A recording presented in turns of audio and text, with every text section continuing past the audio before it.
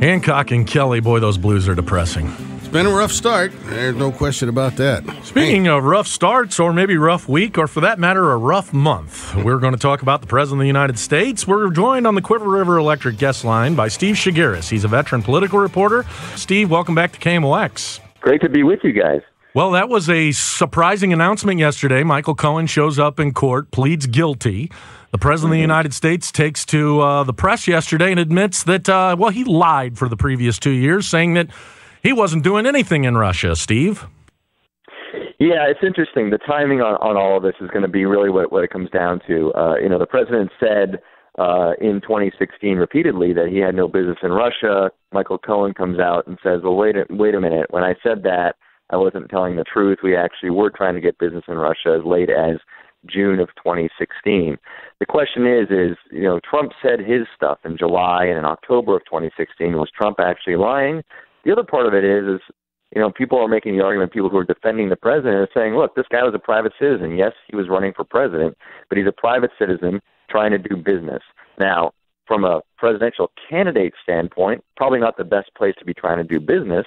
But is there anything illegal there? That's the big question uh, that's going to be asked over the next uh, several months. So, uh, help me understand. Uh, we're visiting with Steve Chaggaris, that great reporter. Help me understand how these dots connect. Is there is there anything in what we learned yesterday from Michael Cohen that speaks to, or Paul Manafort for that matter, that speaks to collusion as it relates to Russian acting, uh, Russians acting in the election of 2016?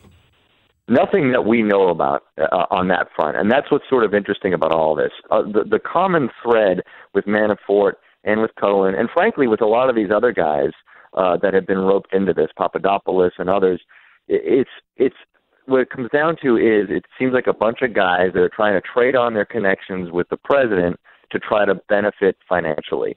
Uh, and Michael Cohen, uh, in this case, had a friend Felix Sater, who is who had Russian ties, and they were talking about, oh, it'll be great if uh, Trump wins. We'll be able to to use this and do business in, in Moscow and make money. It's all uh, almost that's a consistent thread with all this. It's not about Russia trying to throw the election. It's about a, a bunch of guys that were trying to really make money in Russia. Now, what does Russia get out of it? Russia, of course, gets influence. Russia wants to uh, sow discord uh, in in the United States, and being that close to a presidential candidate would do that.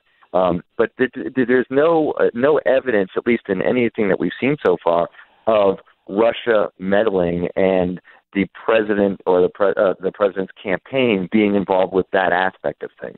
Do you read anything into the timing? Uh, you so you've got the president and his legal team submitting their answers to the interrogatories uh, to Robert Mueller's team and then after that, the Michael Cohen guilty plea comes out. Do you do you think that's a coincidence, or do you think that was part part of Mueller's plan here? Yeah, I, I mean, I, I doubt anything is coincidence when it comes to Mueller. He seems like he's got his ducks in a row when he does these things. Uh, but what to read into it, I don't know. I mean, there's you know there's speculation uh, that he uh, potentially has caught Trump in a lie based on uh, what he knows now from Trump's uh, answers to the questions that they uh, that they asked him about all of this. Uh, but we don't know that yet. Uh, but you know w- what he's doing is publicly saying, "Look, we've got a guy who knows uh, almost everything about what Donald Trump has been doing over the last ten or fifteen years that Michael Cohen worked for him, and we've got him under our thumb. We've got we caught him in a lie to Congress. We caught him uh, basically uh, perjuring himself, and now he's singing.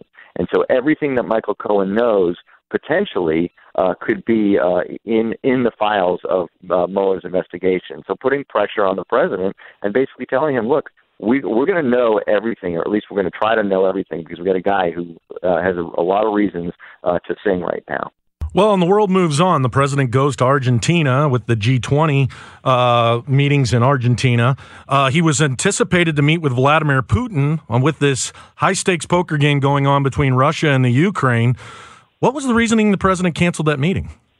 Yeah, that's the reason that he used. That he didn't he didn't use the uh, the, the latest Michael Cohen story as, as the reason for canceling that meeting. Uh, he used the Ukraine stuff. But you know now there's word that uh, at least word from Russia that the two of them may have a, a quick chit chat on the sidelines down there, not a formal meeting, but uh, there will be some uh, potentially some conversation between the two.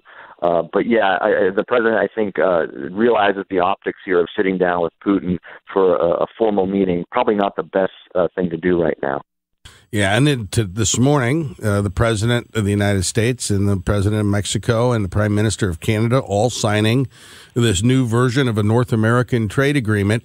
Um, in in all of the tough news that Donald Trump has dealt with lately, this is a little glimmer of, of good news for him. Yeah, I mean, he can go back to all the people that supported him and say, "Look, I promised to blow up NAFTA." Uh, and he basically has done that. He got Canada, who that was extremely resistant to sitting down and signing this uh, at the table, and they uh, and they're done. And they all sat there, signed this treaty. Uh, now, it it still has to be passed by Congress and by the legislatures in Mexico and Canada. So there's still a long road before this thing is actually implemented. But the president can say, "Look, I talked to these guys. I I have gotten rid of NAFTA and come up with a new um, a new plan." That in his argument will benefit the United States better uh, more than NAFTA did, and that is uh, you know, from a political standpoint, he can tout that as as a success. And while he's with all of these members of the G20, there's a lot of other uh, trade difficulties, challenges right now, uh, given the fact that we have tariffs in place and other countries are thinking about China are retaliating, and that's having a real effect on certain sectors of the American economy. Is is there any impetus? Are we seeing anything come out of these meetings uh, in Argentina that give you hope that there are some other trade agreements just around the corner? Well, it's going to be interesting. The president does one of the few uh, formal sit-down meetings he does have scheduled is with the Chinese president tomorrow, uh, and so that's going to be really interesting because, as, as you well know, uh, the tariff fight between China and the U.S. is is huge, and it's not going away anytime soon. So we're going to be watching that very, very closely to see uh, what happens between the the two of them. Uh, and there's still lingering issues with uh, Canada and the United States in terms of tar- tariffs. There's still uh, aluminum and steel tariffs that are in place uh, Trudeau uh, and uh, Trump are, uh, going to continue to try to talk about that. Canada wants those things taken away, um, but uh, so that issue is still on the table for them, separate uh, from the USMCA, this new NAFTA replacement.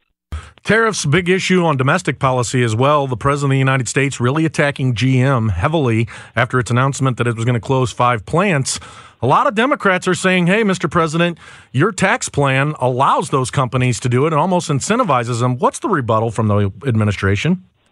Yeah, they're basically arguing that GM's business stinks, and they're saying that you know they're not selling enough cars, and that's on GM, and that GM uh, is not pulling their weight. You know, everybody, the Democrats and and and the critics of the president are saying, no, it's tariffs, it's taxes. This is what's really uh, the problem. But he's basically saying you need to figure out how to run your business because you're not running it well.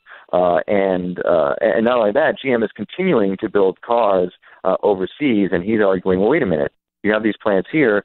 Why don't you start building those cars in the United States? So that's their pushback. Interestingly, by the way, we mentioned Trudeau again. Uh, Canada is affected also uh, by some of these GM closures, and that's where one one uh, of a few uh, items uh, that the two see eye to eye is on this GM thing, and they've been talking about that uh, over the last couple of days too. He is Steve Chaggaris. Steve, thanks so much for your time and insight. My pleasure. Great to talk to you guys. All right, Steve Chaggaris.